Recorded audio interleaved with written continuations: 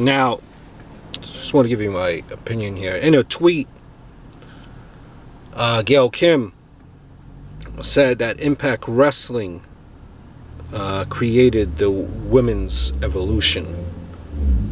Uh, this tweet was around, you know, March 25th or a few days before then. Uh, so I just kind of want to react to that. So she's basically saying Impact Wrestling created the evolution, not the WWE. Women's evolution, not the WWE.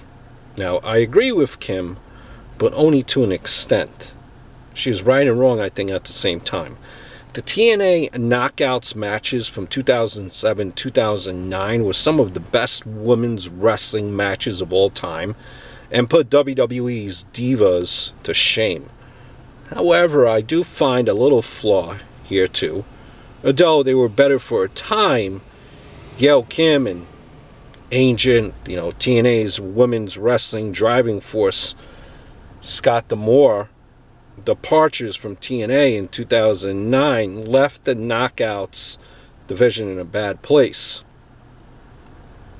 And, you know, and that was during the Hogan Bischoff era. The, the division was as about as entertaining as the Divas. The Knockouts division, in my opinion, has been hit or miss ever since. Thankfully, you know, most recently, it's been a hit you might tell me you have, you might disagree. You know, feuds between Mickie James and Tara, Gail Kim and uh, Taryn, um, Tara Madison Rayne, Angelina Love, and Winter.